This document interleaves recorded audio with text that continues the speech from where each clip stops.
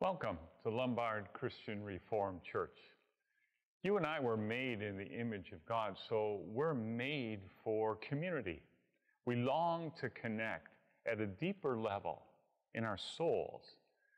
Here we experience the presence of Jesus as we serve together in our community and as we grow in our faith relationship with the Lord. We'd love to pray with you and find ways to use the gifts God's Spirit has given you. So scan the QR code to introduce yourself. And if you'd like further to connect with our church or myself, we'll follow up with you so we can meet together in the unity we have in Jesus Christ.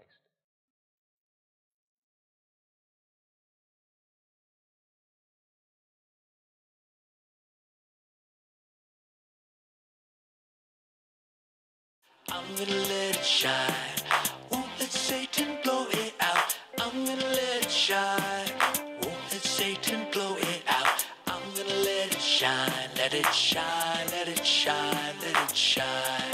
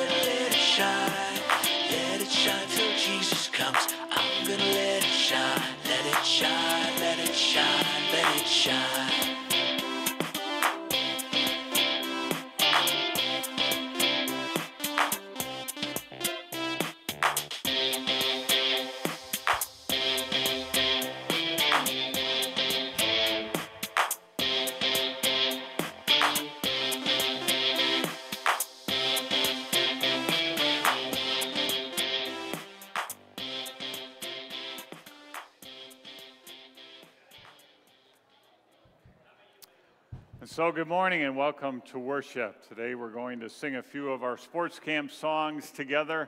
We're going to remember, uh, again, having that opportunity to bless the children of the community as we bring our praises to the Lord. I invite you to rise in body or spirit as we begin our worship this morning. We've come to worship the Father, Son, and Holy Spirit today.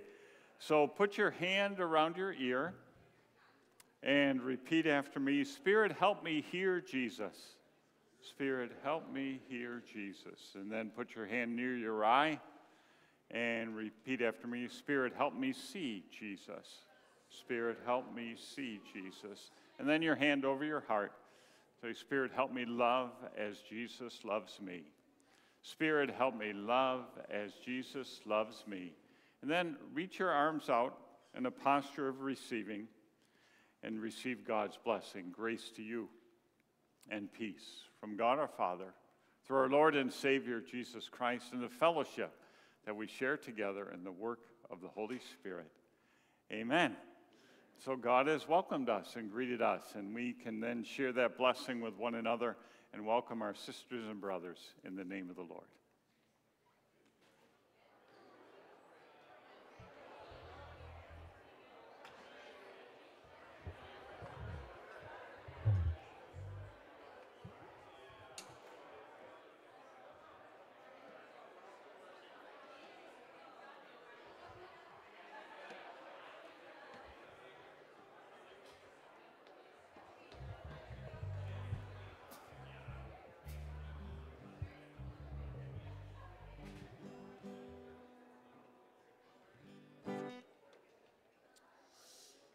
All right, we're going to sing a couple songs we did this week. Every move I make, I make in you. You make me move, Jesus.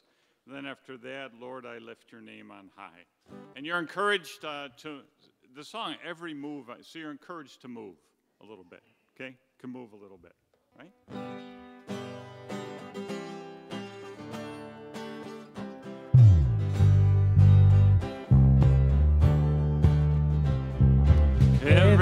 move I make, I'm making you. You make me move, Jesus. Every breath I take, I breathe in you. Every step I take, I take in you. You are my way, Jesus. Every breath I take, I breathe in you. Waves of mercy, waves of grace, everywhere.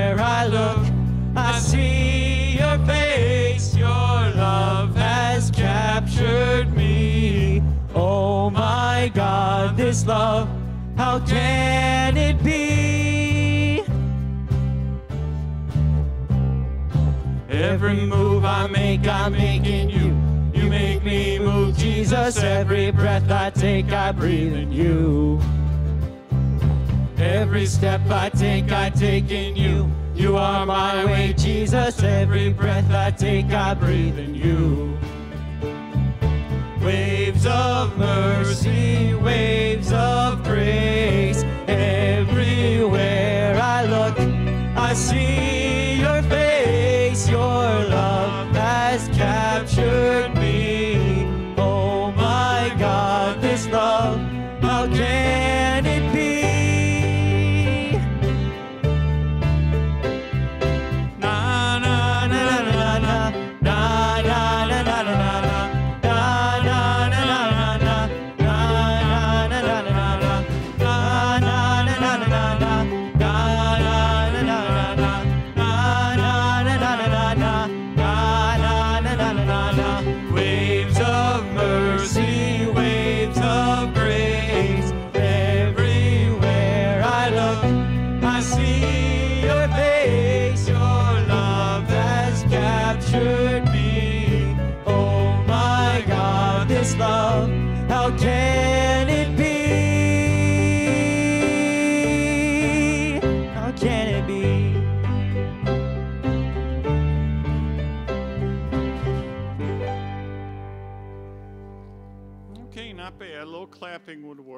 Could can do that. That can work too.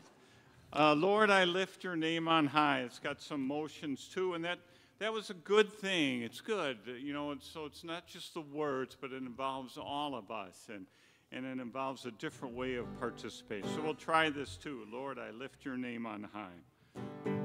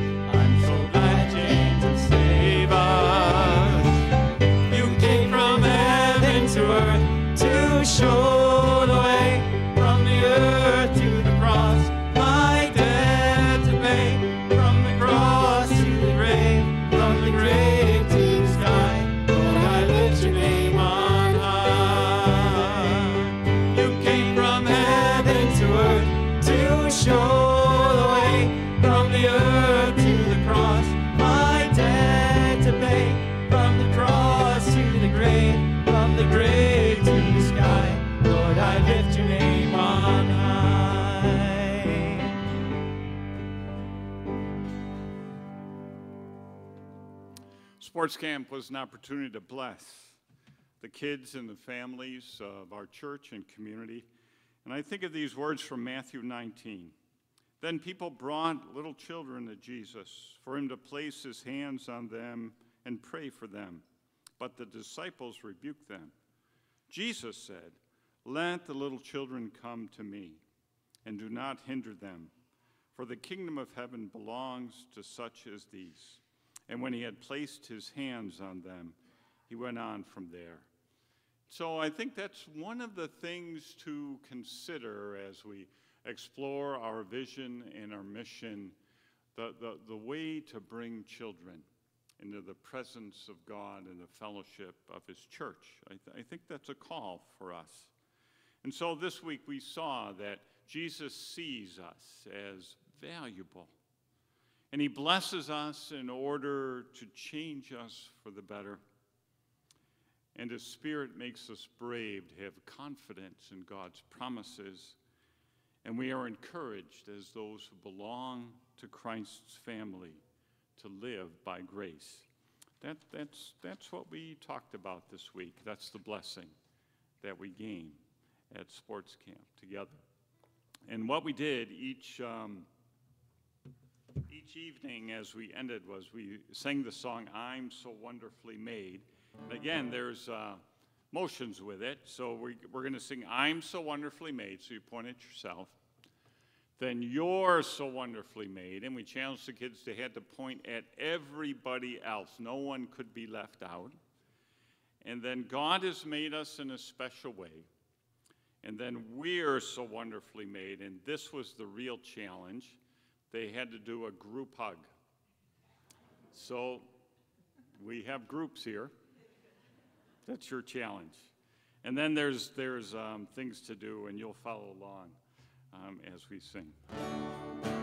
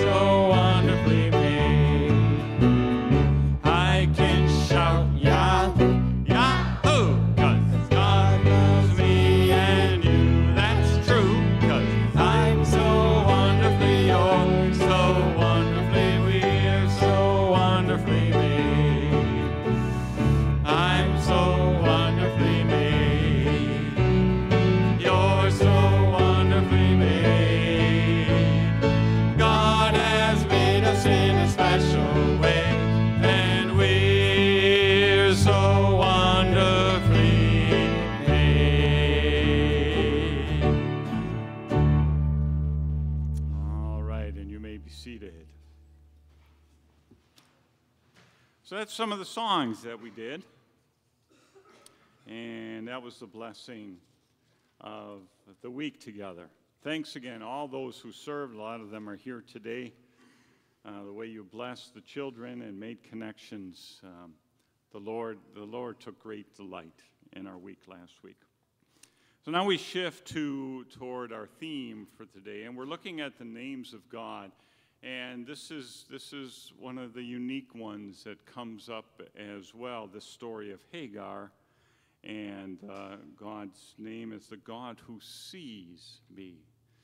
And to take that to heart, that God sees me, not just from afar, not just observing, but sees into me and my pain or my dream or my hope.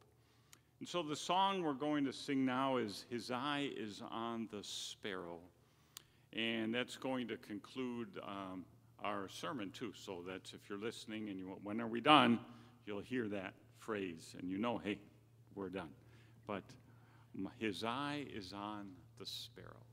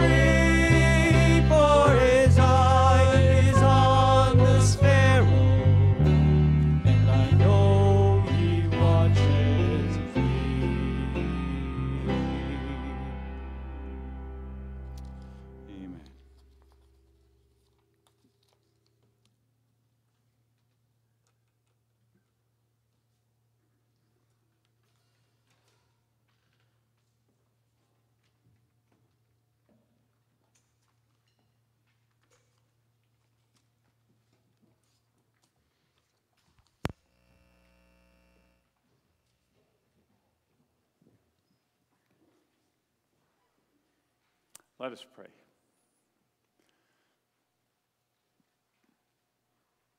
Heavenly Father, Lord Jesus Christ, and Holy Spirit, we're reflecting on, all the many ways that you've revealed yourself to us to grant us a faith and a confidence and courage in your promises to renew our hope and our love for you, for your creation, for our neighbors, our love to uh, live out and share the gospel. So now speak to us again. Speak tenderly and with comfort. Speak a word of challenge as well, that we may go from here sent out with your purposes as your disciples. In Jesus' name, amen. This next name of God comes to us in the middle of family conflict. The God who sees us is revealed to Hagar. Reflect on this as you listen to Genesis 16. This is the God who sees me. Genesis 16. Now Sarai, Abram's wife, had borne him no children, but she had an Egyptian slave named Hagar. So she said to Abram, The Lord has kept me from having children. Go, sleep with my slave. Perhaps I can build a family through her. Abram agreed to what Sarai said. So after Abram had been living in Canaan ten years, Sarai, his wife, took her Egyptian slave Hagar and gave her to her husband to be his wife. He slept with Hagar, and she conceived. When she knew she was pregnant, she began to despise her mistress. Then Sarai said to Abram, You are responsible for the wrong I am suffering. I put my slave in your arms, and now that she knows she is pregnant, she despises me. May the Lord judge between you and me. Your slave is in your hands, Abram said. Do with her whatever you think best. Then Sarai mistreated Hagar, so she fled from her. The angel of the Lord found Hagar near a spring in the desert.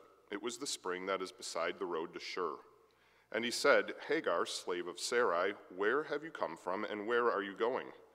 I'm running away from my mistress Sarai, she answered. Then the angel of the Lord told her, Go back to your mistress and submit to her. The angel added, I will increase your descendants so much that they will be too numerous to count. The angel of the Lord also said to her, You are now pregnant, and you will give birth to a son. You shall name him Ishmael, for the Lord has heard of your misery. He will be a wild donkey of a man. His hand will be against everyone, and everyone's hand against him, and he will live in hostility toward all his brothers. She gave this name to the Lord who spoke to her You are the God who sees me. For she said, I have now seen the one who sees me. This is why the well was called Beer Lahai Roi. It is still there between Kadesh and Bered. So Hagar bore Abram a son, and Abram gave the name Ishmael to the son she had borne. Abram was 86 years old when Hagar bore him Ishmael. This is the word of the Lord. Thanks be to God. Most mornings I walk to the church, and for the most part, it's a quiet walk. I can reflect a little bit, I can get my steps in, get some fresh air, and even meet some of the neighbors once in a while. But when I have to cross Roosevelt Road or that dreaded corner by Montini, I sometimes look at cars and I think, I hope he sees me. And there have been a few times where I'm only standing here by the grace of God, I know. And there have been times when cars have stopped and the window comes down and the person says in kind of a frightened way, I'm sorry, but I didn't see you. Motorcyclists and bicyclists would share some of the same stories, I bet. Genesis 16 is about seeing. And in this story about seeing, another name for God is revealed El Roi, the God who sees me. Hagar's story reveals to us that God sees us, and that changes everything. Sarai and Abram see differently. All they see is a problem that needs to be solved. God has made a promise to them to give them a son to create this great nation of God. And God gave them that promise a long time before. They've been in Canaan 10 years now, 10 years waiting on this promise.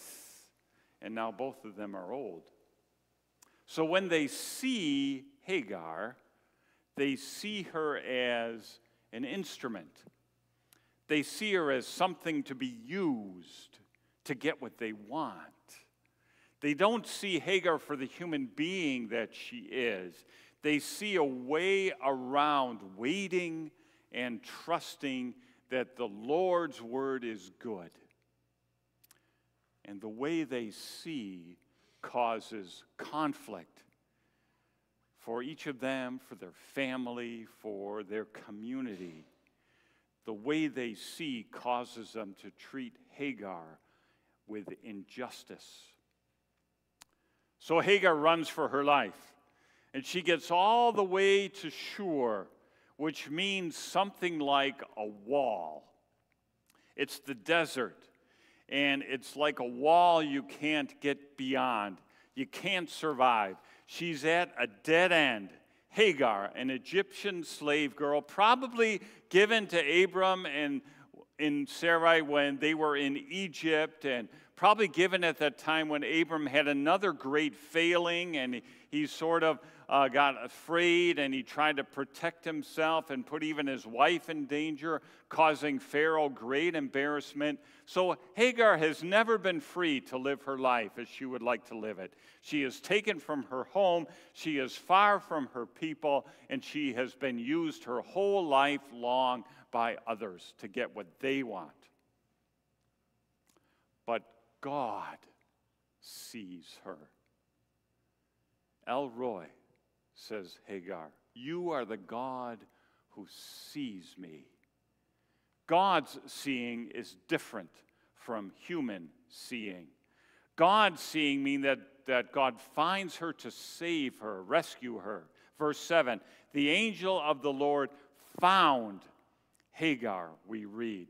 God's seeing means God recognized Hagar's trouble and pain and hurt and need. God seeing meant that God had committed to saving her life. Even a woman like Hagar is meant for a life with God, and the Lord's rescue means even Hagar belongs to Jesus, to God, the Father, Son, and Spirit in a gracious belonging and relationship that she's meant to encounter and live with God throughout her life. God draws her into a saving relationship. And we get that sense from verse 8. The angel of the Lord says, Hagar, slave of Sarai, where have you come from and where are you going?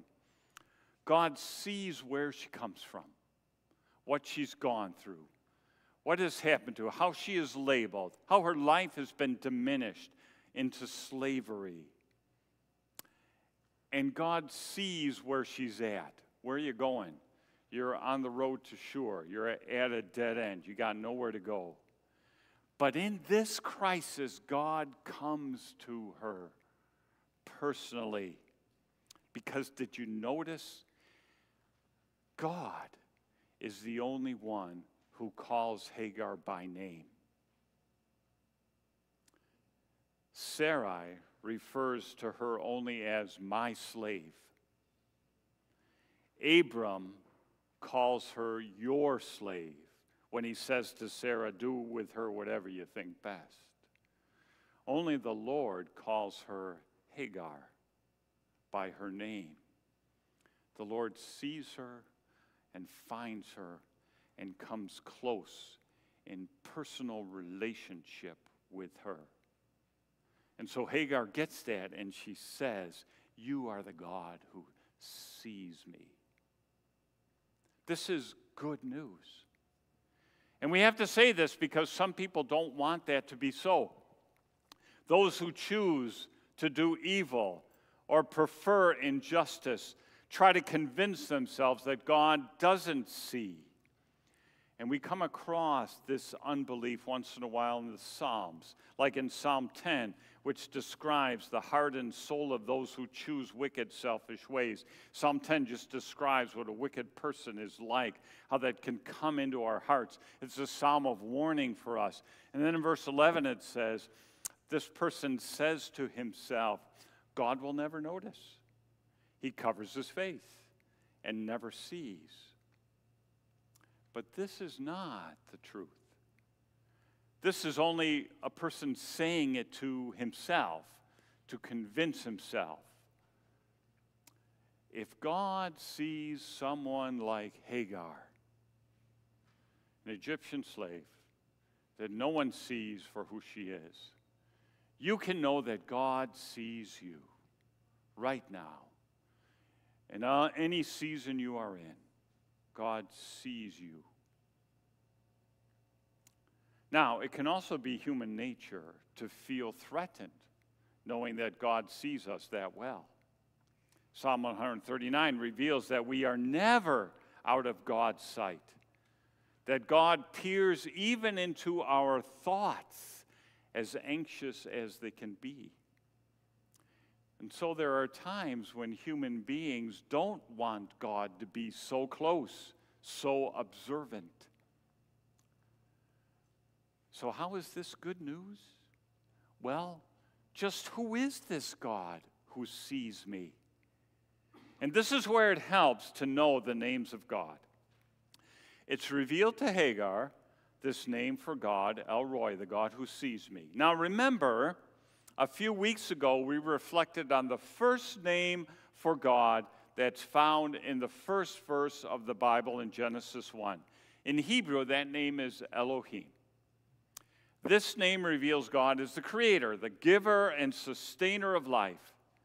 Now, those first two letters of this Hebrew name, which in English are EL, were used then to reveal other names of God. And you see, you'll see that. See that here for El Roi, the first two letters? That was the same for Elohim. Okay, you're seeing that? And we've already talked a few weeks ago about El Elyon, and again, C E L, like the beginning of Elohim. That name for God adds to what we know about God as the creator and sustainer of life. This is the mighty God who saves. God not only values life so highly that he gave you life, God not only values life so highly that he sustains life and is the giver of anything that is good, so even if you are going through a horrible season, if you stop and count your blessings, any good thing you count comes from the hand of God.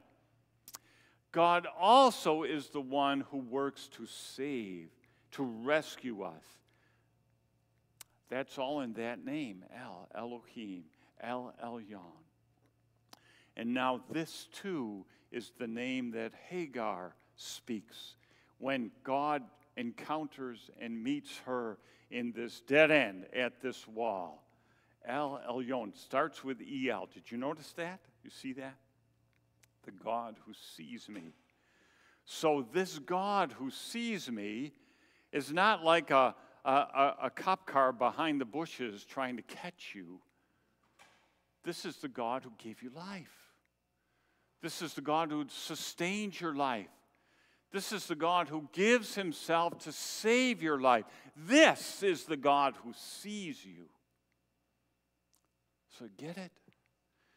It is good news that God sees us because of who this God is. And this is shown most clearly to us in Jesus. Jesus came as God in the flesh. Emmanuel, See, there's that EL again, meaning God with us. And the Gospel of John makes a point to emphasize that Jesus is God in the flesh who sees me.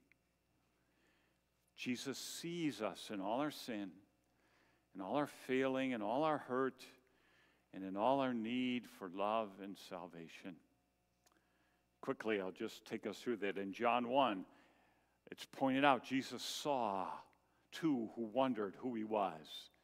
And he asked them, What do you want? What's your heart's desire? And then Jesus saw Nathanael searching for truth and kind of a skeptic about it all. And then in chapter 5, Jesus saw the crippled man and invited him to wholeness. And in John 6, Jesus saw the hungry and fed them. And in John 9, Jesus saw the blind man and revealed himself as the light of the world. And in John 11, Jesus saw those grieving and he shared their grief and wept. And then from the cross, he saw his mother and he blessed her. Seven times, John stops to point out that Jesus, as Emmanuel, full of grace and truth, sees, sees people, sees people like you and me, sees us in order to bring the cross and resurrection into our lives. So when God sees, this means more than God just watched or observed. It means the life giver and life redeemer sees to our salvation. We're reminded of this often at the end of worship when we are sent out with this blessing from number six the Lord bless you and keep you.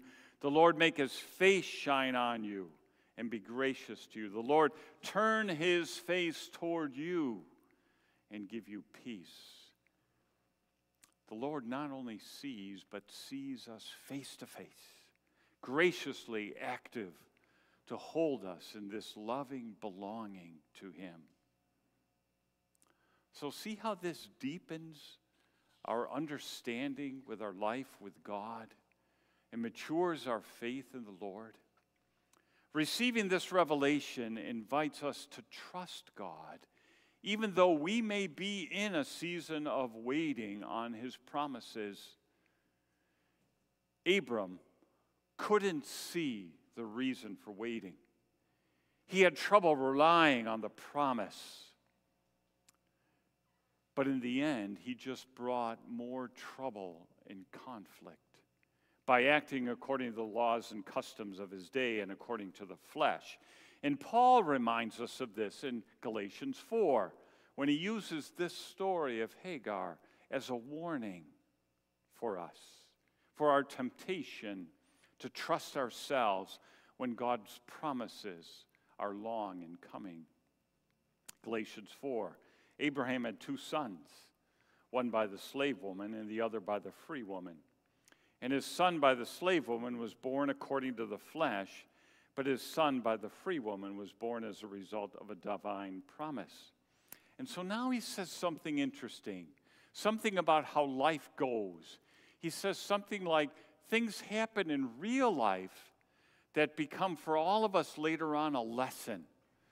And that God chooses people from time to time to carry something in life, even a heavy burden, because through this, God is teaching something to future generations about who He is and about the extent of His grace and about how we are to live by faith.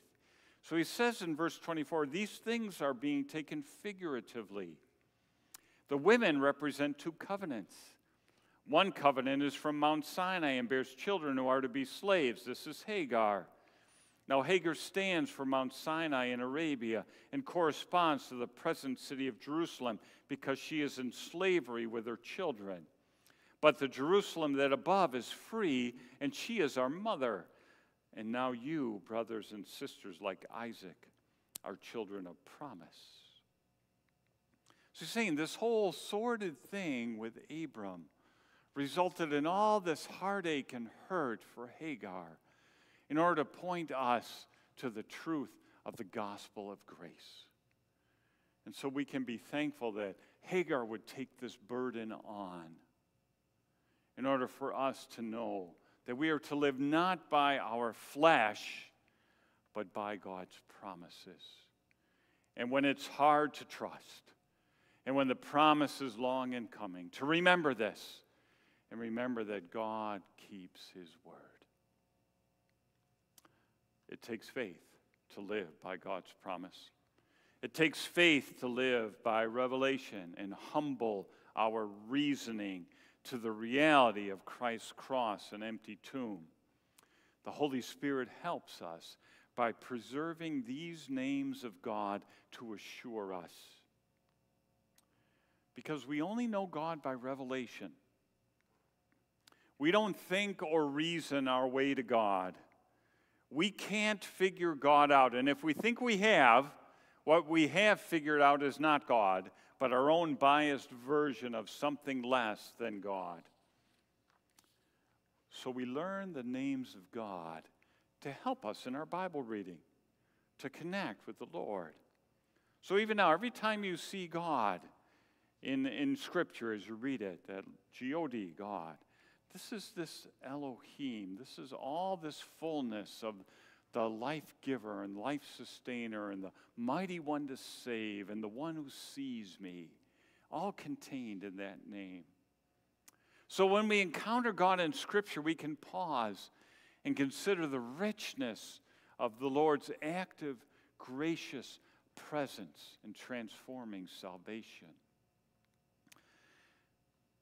And then we also learn the names of God so that we can love God with all our mind, as Jesus commanded us. Dr. Neal Plantinga encourages us. He says, Loving God with one's mind means taking an interest in God and all his wonders. It means letting God be God.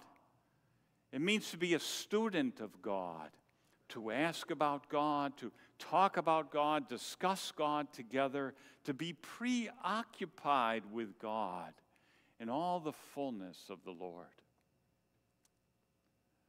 And then learning the names of God will deepen our faith for when we cannot make sense of God.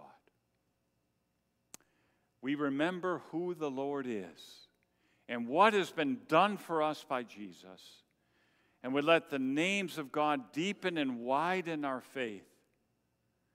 So when we are with friends, before or after worship, as Dr. Plantinga says, we will sometimes lay aside the chatter and gossip that so easily creep into our conversation. And we'll talk about more serious things about who God is, what justice demands, what it would be like in the world if for just one day everyone kept the Ten Commandments. By the road to a wall, God sees Hagar and blesses her and grants her courage to bring the news of God seeing back to Abram and Sarai. And sometime in that encounter with God, a spring is observed, encountered, found. Verse 7 The angel of the Lord found Hagar near a spring in the desert. And so it may be that when we encounter God in the desert, there we find a spring after all. We read at the end of Hagar's story in verse 14 this is why the well was called the well of the living one who sees me. The place where God saw Hagar was on the road to Shur, the wall. But now it's called the well of the living God who sees me. The wall is transformed into a well.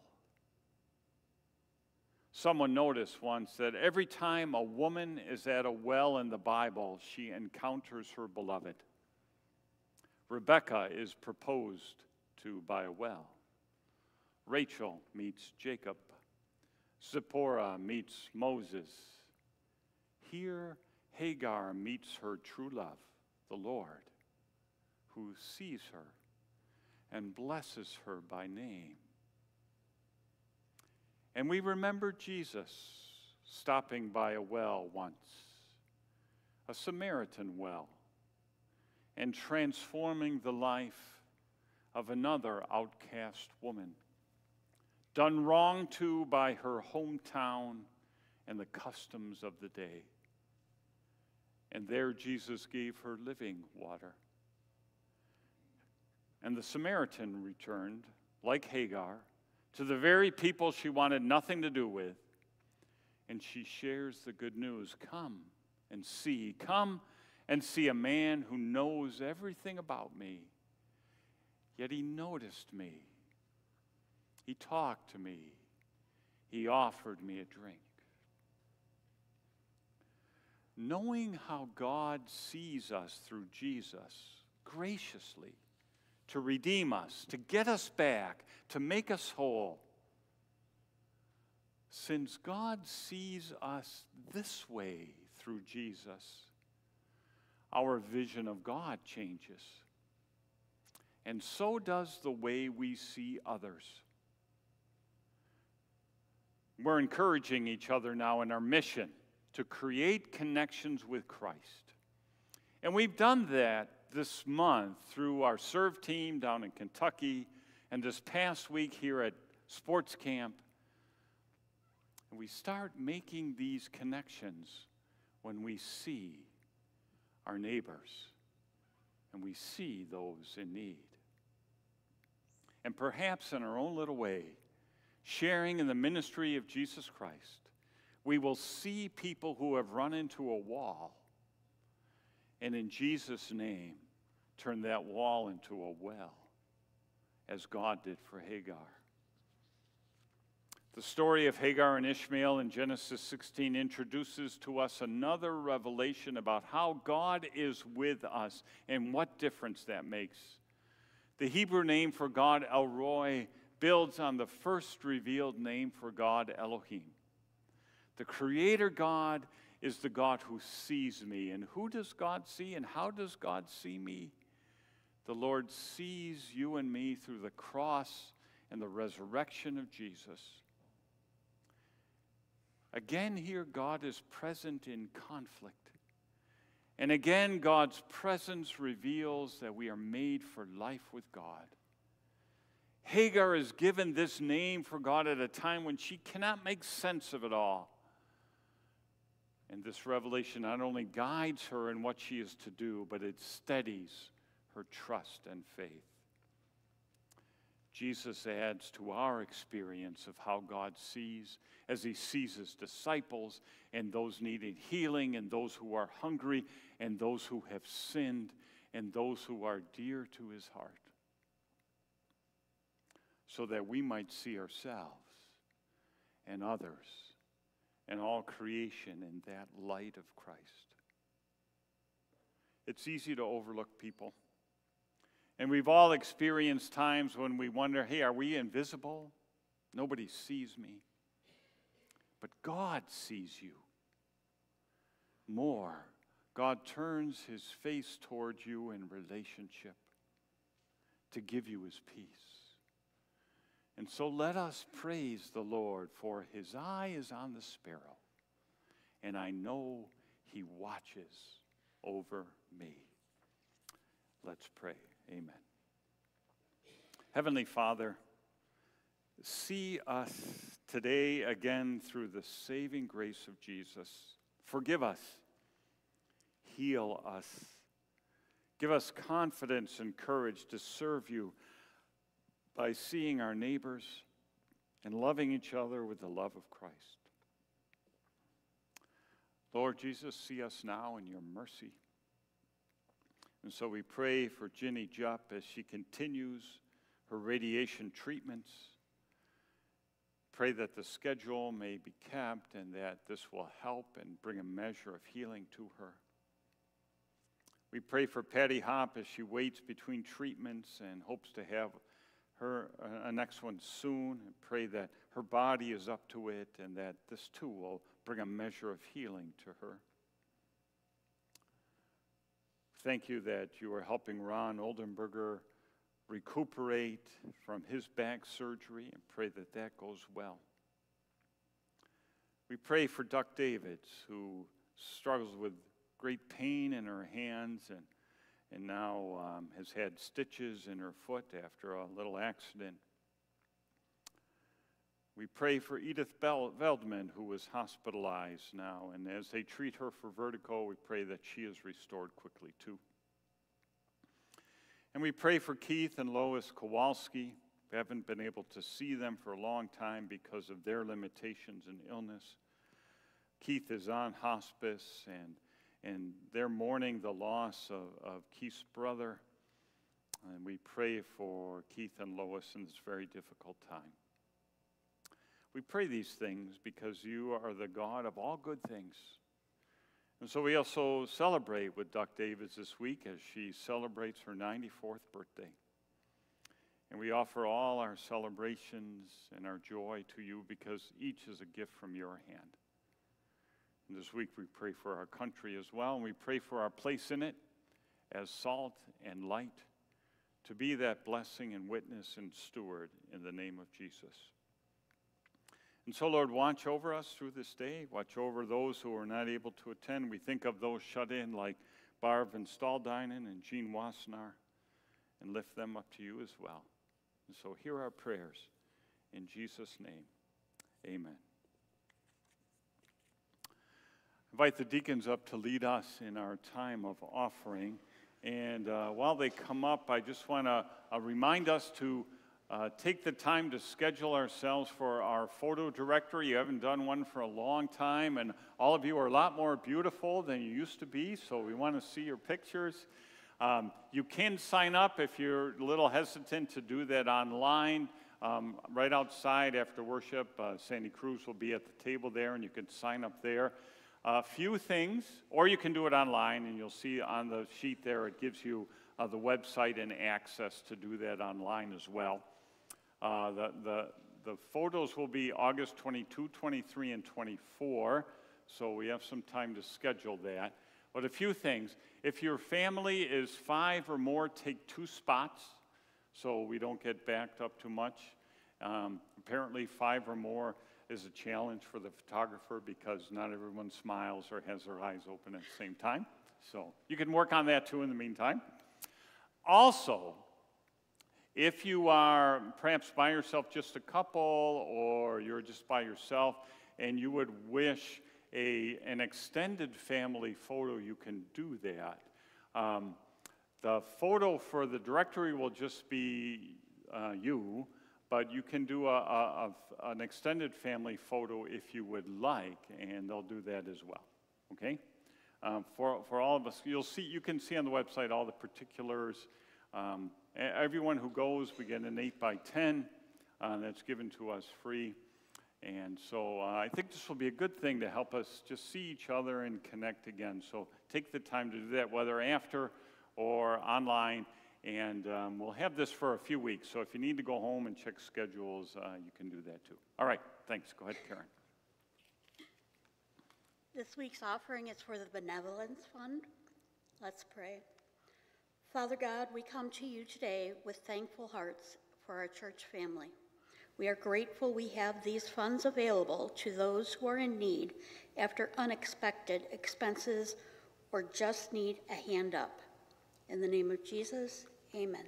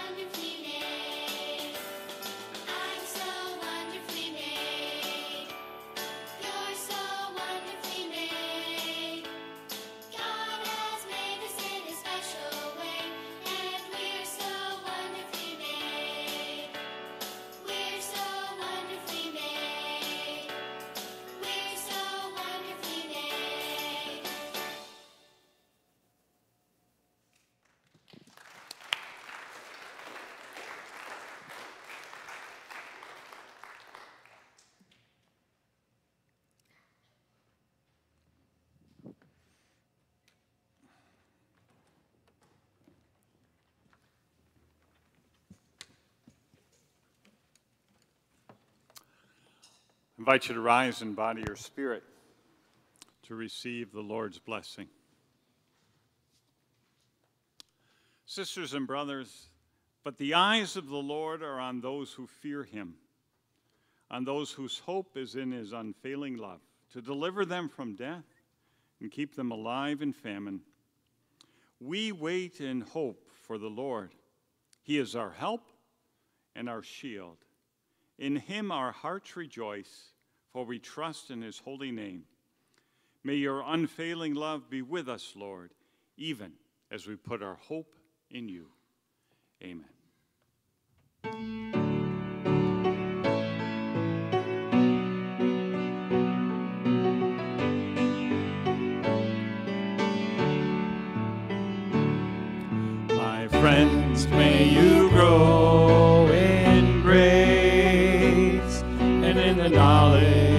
of our Lord.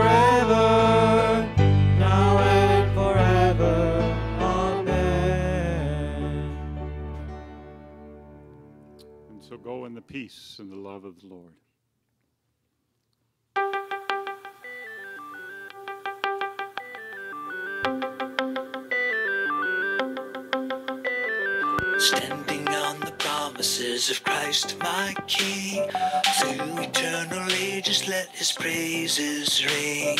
Glory in the highest I will shout and sing. Standing on the promises of God. Standing, standing, standing on the promises of God, my Savior. Standing, standing, I'm standing on the promises of God. Promises that cannot fail. When the howling storms of doubt and fear assail, by the living word of God I shall prevail. Standing on the promises of God.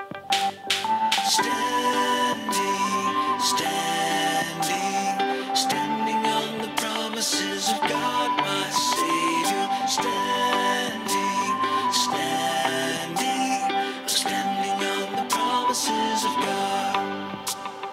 Standing on the promises of Christ the Lord, bound to Him eternally by love's strong cord, overcoming daily with the Spirit's sword. Standing on the promises of God, yes, I'm standing, standing, standing on the promises